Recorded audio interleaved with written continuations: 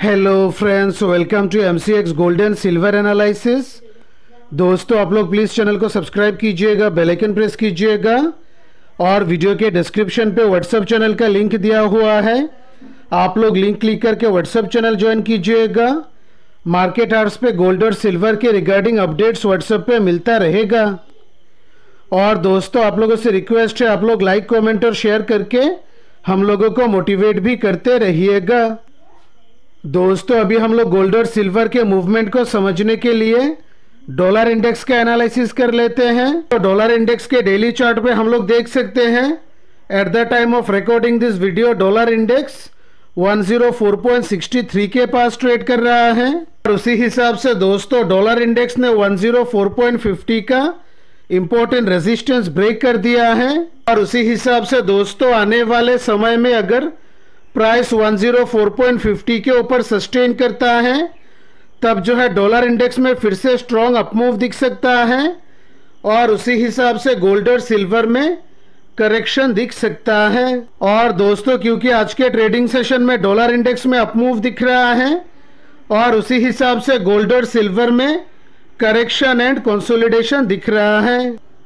और दोस्तों, जैसे कि हम लोगों ने व्हाट्सएप चैनल पे अपडेट किया था मिडिल ईस्ट में जो जियोपॉलिटिकल टेंशन चल रहा है, ये अगर एस्केलेट होता है, तब जो है गोल्ड और सिल्वर में फिर से अपमूव दिख सकता है। और दोस्तों, इकोनॉमिक जो फैक्टर्स हैं, ये गोल्ड और सिल्वर के लिए निगेटिव बन गया है। और उसी हिसाब से दोस्तों, इसराइल और लेबनन का न्यूज़, और उसके साथ साथ इकोनॉमिक न्यूज़ भी गोल्ड और सिल्वर के लिए बहुत ही इम्पोर्टेंट होने वाला है। दोस्तों, अभी हम लोग MCX सिल्वर का टेक्निकल एनालिसिस कर लेते हैं और उसके बाद MCX गोल्ड का टेक्निकल एनालिसिस करते हैं। दोस्तों MCX सिल्वर के डेली चार्ट पे हम लोग देख सकते हैं। सिल्वर में कॉन्टिन्यूस डाउनफॉल दिख रहा है। और दोस्तों थर्टी जुलाई को जो इंटरेस्ट रेट्स के रिगार्डिंग डिसीशन आने वाला है, इसमें अगर फेड के तरफ़ से हॉकिश कमेंट्री आ जाता है, तब जो है सिल्वर में और भी ज़्यादा डाउनफॉल आने वाले समय में दिखने वाला है। दोस्तों एम सी एक्स सिल्वर के वन आर के चार्ट पे हम लोग देख सकते हैं। At the time of recording this video silver 80,900 के पास ट्रेड कर रहा है। और दोस्तों सिल्वर के वन आर के चार्ट पे हम लोग देख सकते हैं। 81,300 सिल्वर के लिए इम्पोर्टेंट रेजिस्टेंस बन गया है। और दोस्तों 81,300 के ऊपर 81,500 सिल्वर के लिए बहुत ही इंपॉर्टेंट रेजिस्टेंस बना हुआ है। और दोस्तों MCX सिल्वर के वन आर के चार्ट पे हम लोग देख सकते हैं 80,500 सिल्वर के लिए इंपॉर्टेंट सपोर्ट बन गया है। और दोस्तों 80,500 के नीचे 80,000 सिल्वर के लिए बहुत ही इंपॉर्टेंट सपोर्ट बना हुआ है। और उसी हिसाब से दोस्तों आने वाले समय में अगर प्राइस 80,000 से 80,500 के रेंज के पास आता है तब जो है फिर से प्राइस में अपमूव दिख सकता है। इसी हिसाब से दोस्तों आने वाले समय में अगर प्राइस नीचे आता है तब जो है लोअर लेवल पे स्ट्रिक स्टॉप लॉस लगा के फिर से हायर लेवल के लिए ट्रेल कर सकते हैं। और उसी हिसाब से दोस्तों 80,500 के ऊपर 81,000 बनने वाला है फ़र्स्ट टारगेट 81,000 के ऊपर 81,300 से 81,500 का जो रेंज है ये बनने वाला है प्राइस के लिए सेकेंड टारगेट और दोस्तों आने वाले समय में अगर प्राइस 81,500 का इम्पोर्टेंट रेजिस्टेंस भी ब्रेक कर देता है तब जो है हम लोग हायर लेवल पे 82,000 और 82,000 के ऊपर 82,500 के लेवल के लिए ट्रेल कर सकते हैं। और दोस्तों आने वाले समय में अगर प्राइस 80,500 का इम्पोर्टेंट सपोर्ट ब्रेक कर देता है और इसके नीचे वन आर के चार्ट पे स्ट्रॉन्ग बेरिश कैंडल फॉर्म करता है।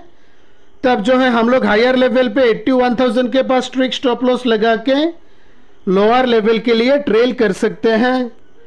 और उसी हिसाब से दोस्तों 80,500 के नीचे 80,000 बनने वाला है फ़र्स्ट टारगेट 80,000 के नीचे 79,000 बनने वाला है नेक्स्ट टारगेट और अगर आने वाले समय में प्राइस 79,000 का सपोर्ट भी ब्रेक कर देता है।